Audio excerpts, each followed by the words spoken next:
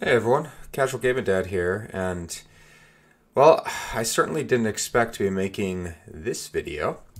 Uh, and what I mean is, is I really wasn't planning on playing in season three for Diablo 2 Resurrected, uh, but then some things happened and whatnot, and here we are.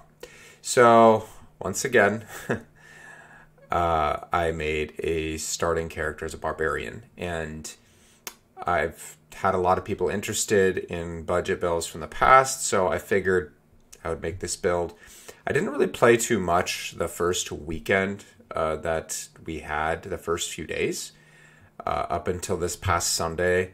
I was only level 24, and then in a single day, I got over 50 levels, you know, and I think it was around four hours or so, just getting bumped through, uh, you know, normal Nightmare in Hell.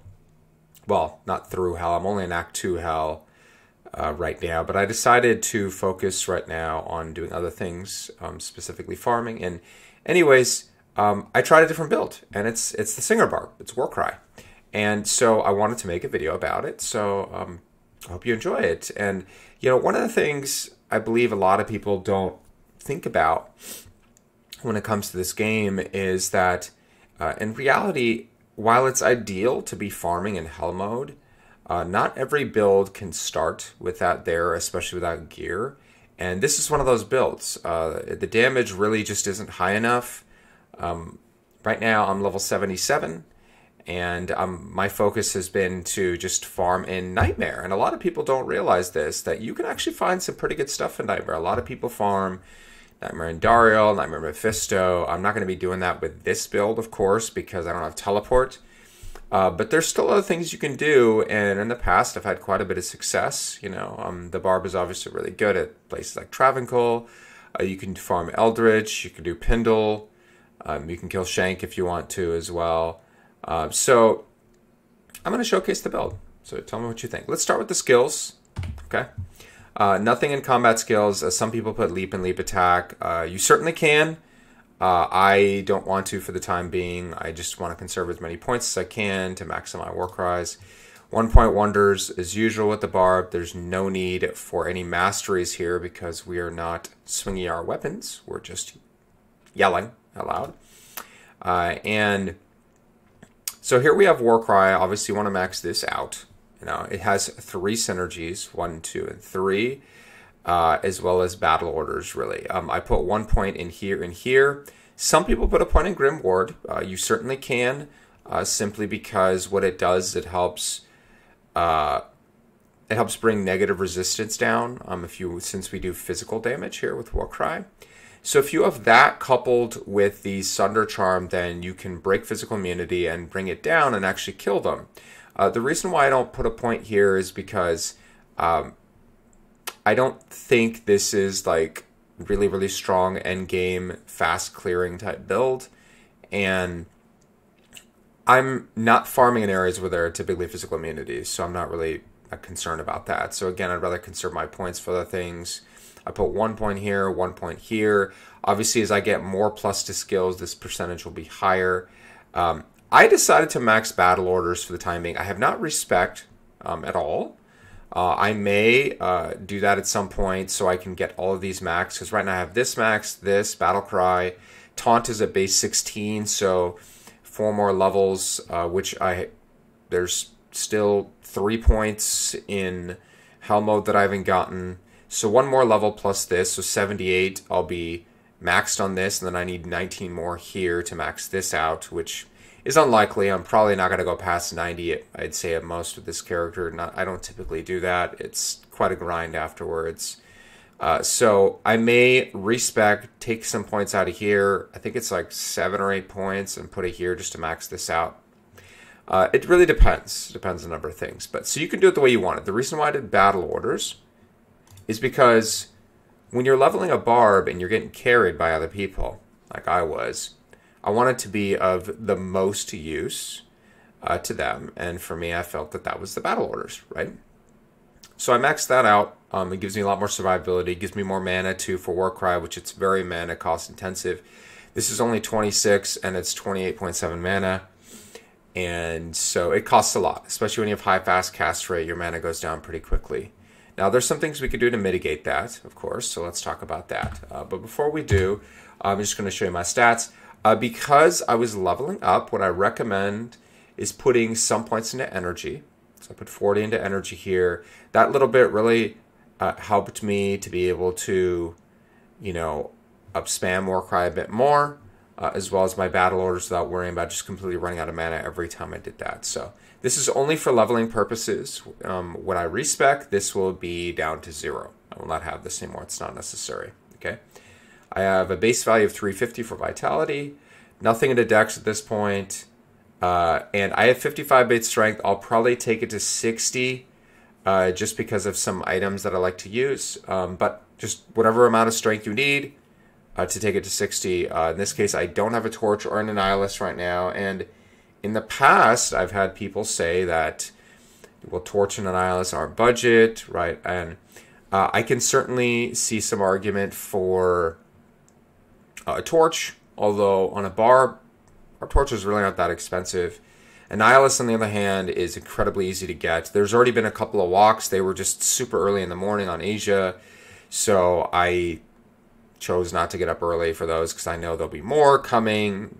It's just, it, eventually there's a point where last season I literally left the Diablo 2 uh, what's it called? D2R Clone Hunters Discord because the amount of notifications I would get was just ridiculous. There were so many, so many walks throughout the season. So I'm not really concerned about that, but that'll help out with this. So really, you're just kind of like most builds. You put enough into strength and or dex to wear the items you want, and then everything else into vitality for survival. Okay, let's take a look at the gear. This is really as budget as it gets. I mean, I mean, honestly, truly, you know, uh, any anyone can achieve this. Okay, I'm I'm dual wielding spirit. Okay, this really wasn't that difficult to get. Uh, I've during Nightmare Baal runs, I think a broadsword with four sockets dropped. I picked it up, uh, and then I got another one uh, from Cows that was so not even crystal sword, which is ideal, right? Saves those five points of strength, but I, I didn't really care. Uh, I just wanted to get things going. Uh, I found a you know one in cows. Used my Larzuk. I think it's totally worth using one of your socket quests. Some people would argue no. For me, it's again about just getting going on things. So I felt it was totally worth it.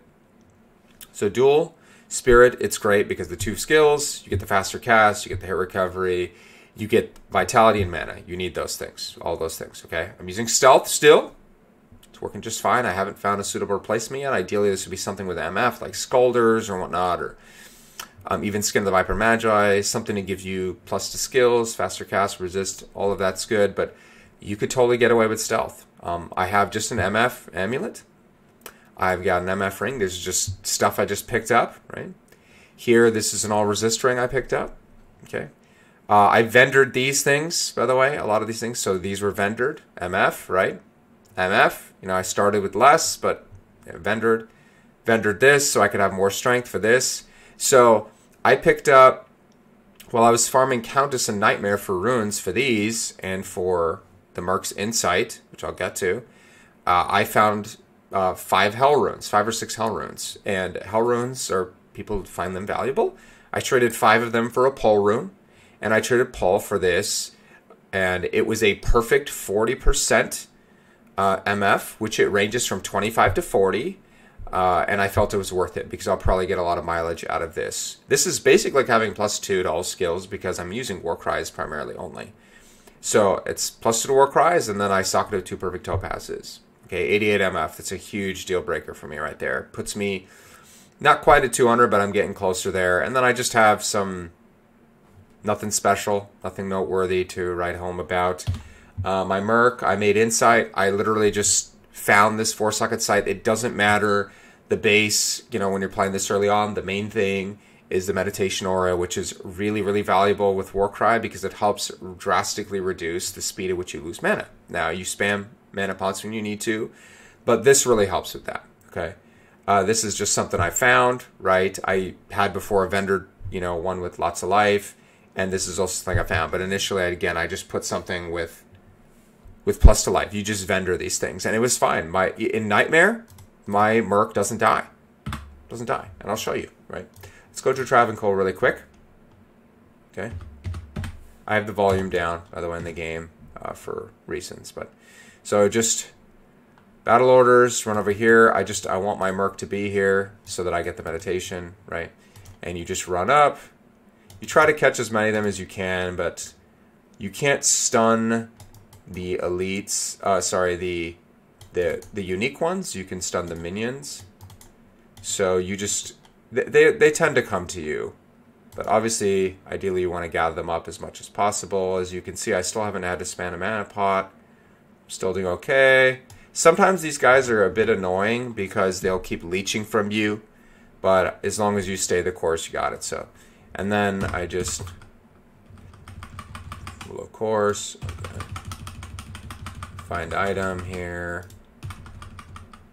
Uh, small charm, okay. Oh, large charm. Nothing else really noteworthy.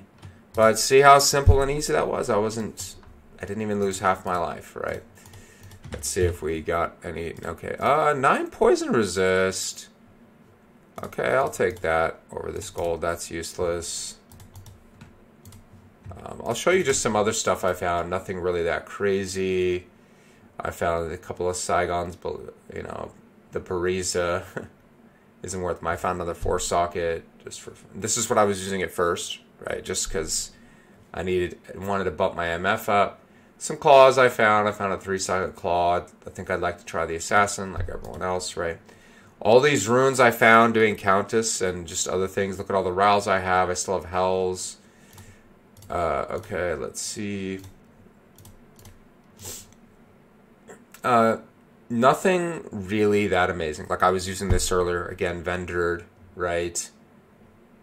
Uh, just some, I was using this for a while, you know, just saving up these, right? Plus two martial arts, sure, why not?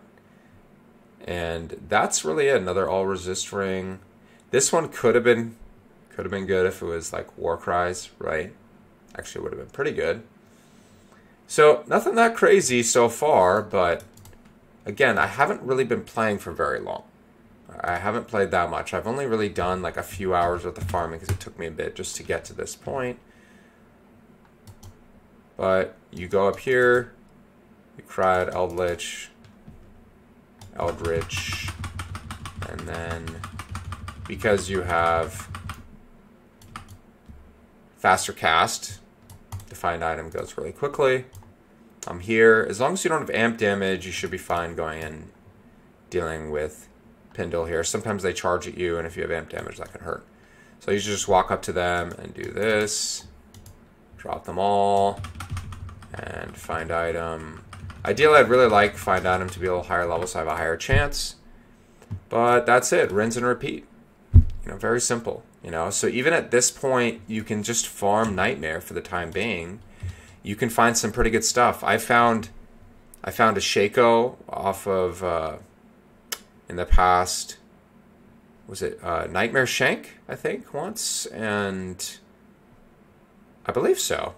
Was it Shake off? Or was was that not? Mm, I I feel like it was. Maybe I'm confusing it, but you can find some pretty good stuff in Nightmare. And the point is, is you know, it's it doesn't have to be Hell mode viable right off the bat. Okay. Um, is this build Hell mode viable? Yes, yes, it is. Uh, if you have these all maxed out, the damage, and you have more plus plus two skills, like if you had an Annihilus, uh, a Torch, that's plus four more. Uh, you know, plus one here, uh, maybe plus one here. Some Warcry GCs, some simple ones. I mean, it, you know, they're they're not too they're really not expensive. They're just vanilla.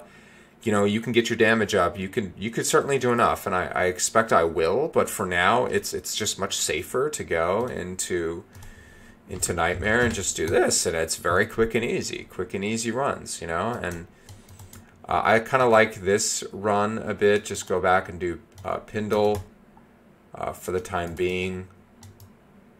Uh, and you know, I, I may just switch to Trav because Trav has been very good to me in the past, of course in Hell mode primarily, but uh, in Hell mode it may be a little bit more challenging here. uh, with this setup right now because I'd need the Merc to survive and might be more difficult for him to do that. So, you know, one of these days I'll make a video like this and I'll actually find a good drop while I'm doing demonstrating and that would just be that would just be like the dream, right? But anyways, that's pretty much it, you know. So don't feel like you have to have a build that's Helm mode viable right off the bat. This has very simple, easy to acquire gear. Anyone can do it. I'm telling you. Trust me when I say you can you can acquire this gear. It's not too difficult. Uh, for trading, I use Traderie, uh, you know, and I've had a lot of great success with it. So I really recommend people giving it a try. Yeah, not really. Uh, you know, Otherwise, you know, I mean, you could just put a lore here for another plus to skills if you want, or just put a three socket helm. Don't be, you can be patient or impatient like me. I, I was impatient. I put in the two socket because I just wanted to up my MF to at least 100, right? Uh, right now, I am at 182, so I'm doing okay. Uh, I'd say that that's pretty good. I'm not at that 105 FCR breakpoint. Uh, I could be but uh, not quite yet, and that's fine. Other than that, you know, if you have questions or thoughts or ideas, feel free to leave them down in the comments. You know, um, leave a like, consider subscribing, and you know, let me know which uh, what you're playing. I'm gonna be playing this until I can farm up enough gear and whatnot, and then I'll probably try the martial arts assassin. When I tried, when I first tried the assassin, you know, I don't know how many years ago, whenever it came out, and Lord of Destruction, I initially tried uh, martial arts and I liked it. It just wasn't strong for the longest time. So now that it's pretty OP, could be cool to try out. So, anyways, I'll uh, I'll see you soon. All right, bye bye.